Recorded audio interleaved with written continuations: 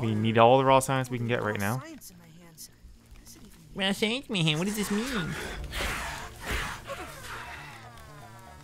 What? What just happened? Legit, what just happened?